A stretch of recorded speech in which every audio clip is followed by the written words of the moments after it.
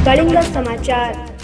ମୋହିନୀ ଏକାଦଶୀ ଉପଲକ୍ଷେ ଶ୍ରୀ ଶ୍ୟାମ ମନ୍ଦିରରେ ଭଜନ ସନ୍ଧ୍ୟା ଆୟୋଜନ କରାଯାଇଥିଲା।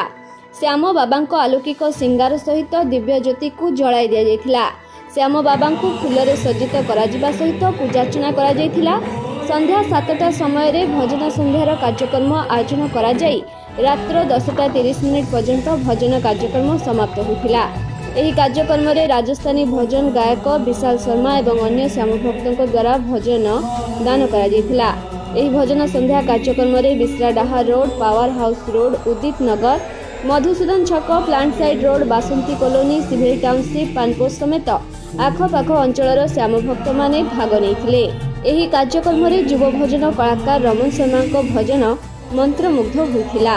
ଏହି କାର୍ଯ୍ୟକ୍ରମକୁ ସଫଳ ହେବାରେ ଗୋବିନ୍ଦ ଅଗ୍ରୱାଲ ରାଜେଶ ଅଗ୍ରୱାଲ ରାଜୁ ଶର୍ମା ନିରଞ୍ଜନ ସୋନି ଭୀମ ବଂଶଲ ସଞ୍ଜୟ ଅଗ୍ରୱାଲ ପ୍ରମୁଖ ଭକ୍ତଙ୍କ ଅତୁଳନୀୟ ଯୋଗଦାନ ଭଜନ ସନ୍ଧ୍ୟାକୁ ଆନନ୍ଦିତ କରିଥିଲା।